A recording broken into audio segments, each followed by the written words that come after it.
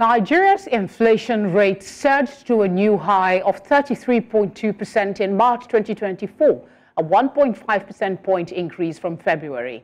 This marks a slower month-on-month rise, 1.5% compared to February, 1.8%, but a significant 11.16% increase year-on-year. Food prices remain a major driver, reaching 40.01% inflation, driven by rising costs of staples like gari, yam, and millet. Urban areas were hit harder, with inflation reaching 35.18% year-on-year compared to 31.45% in rural areas. Core inflation, excluding volatile items like food and energy, also rose significantly, reaching 25.90% year-on-year in March. To discuss this, I'm joined by Chief Executive Officer, Center for the Promotion of Private Enterprise, Muta, Muda Yusuf. Muda, thank you very much for joining us. Thank much for having me. Good evening. Good evening, sir. Uh, many analysts predicted 32% inflation rate for March, but here we are with 33.2%. Did you see this coming?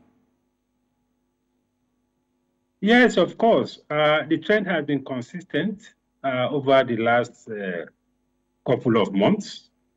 And up until March, uh, nothing significantly has changed.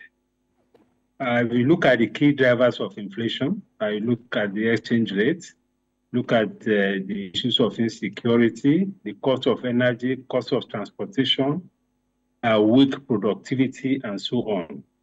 Uh, these have been all the key challenges uh, affecting uh, inflation and, uh, and, uh, and general price level. So up until March, uh, not much has changed. So the threshold of 30, slightly over 30 is what has been maintained. So it's not surprising that you have this, this kind of numbers.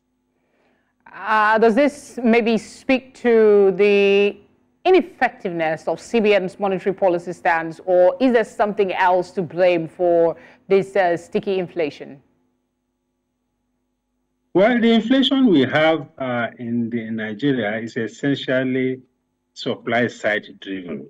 In other words, they're essentially factors that are impacting on production, uh, cost of distribution, and things like that. They are essentially what you call cost push inflation.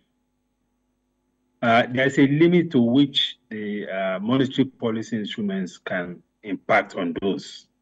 If you look at things like the cost of diesel, uh, the exchange rate, for instance, the insecurity, issues of climate change, issues of logistics, and so on. Uh, there is very little impact that monetary policy can have on those key variables. And those are the major drivers of inflation. Uh, the monetary policy instruments are essentially about managing liquidity, uh, reducing money supply, and so on and so forth.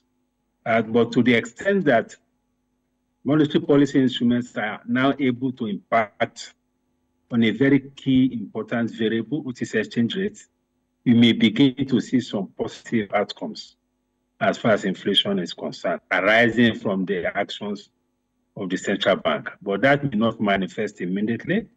Uh, it will take some time because normally there's a lag uh, between when these actions take place and when you begin to see the results at the retail end of, uh, of, of, the market or the retail prices. So I think the outlook going forward looks uh, looks much better than what we have. Possibly from April to May, we may begin to see a moderation in inflation. Uh, Naira has been named the best performing currency in April with expectation it will trade uh, below a thousand Naira. Yet uh, this is not translating to reduction in the price of food items and other commodities. Are there any specific sectors or goods where the Naira appreciation might be translating into lower prices for consumers? Well, it will be translating faster in the area of uh, manufactured products. Uh, and we are beginning to see evidence of that, uh, things like noodles and so on. Uh, we are beginning to see some evidence, even rice. I mean, there are reports that there's a marginal decrease in prices. But the first uh, round of impact will come from uh, the manufactured products because most of the manufacturing sector activities are highly import dependent and they are highly sensitive to exchange rate uh, movements. So that is where the impact will begin to manifest. But again, because uh, many of these manufacturers, distributors, importers already have existing stock which they have which they had bought at a very high price. Until they exhaust those stock or those inventories, uh, we may not may not begin to see the uh, immediate impact of the depreciation in the in the in the I mean of the appreciation of the currency. So we need to give some time. Uh, there is normally a lag for these effects to begin to manifest. We should give maybe a month or two before we begin to see the impact of this. If the current trend of strengthening the currency of naira appreciation is sustained. All right. Should the MPC effect another rate hike, what would be the outlook for businesses and consumers alike? Well, uh, if there is another rate hike, I think that will put more pressure on the real sector of the economy, on entrepreneurs, particularly those of them that have either existing facility, uh, I'm talking of loan facility now with the banks, or that are willing to depend on the banks for facility. Because that will, you know, uh, drive, I mean, drive up uh, interest rates.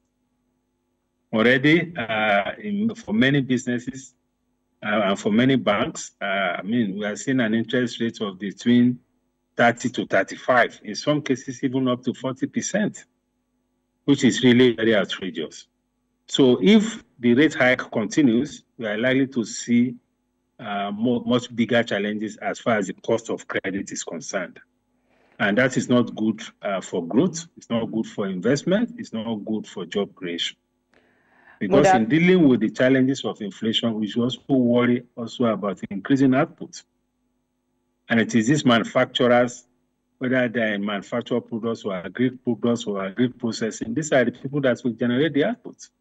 These are the people that are generating the jobs. So we don't want an interest rate situation that will suffocate them in terms of either their ability to service existing debt or ability to access facilities from the banking system. All right, Muda, thank you very much uh, for speaking with us. We appreciate your time. Thank you very much.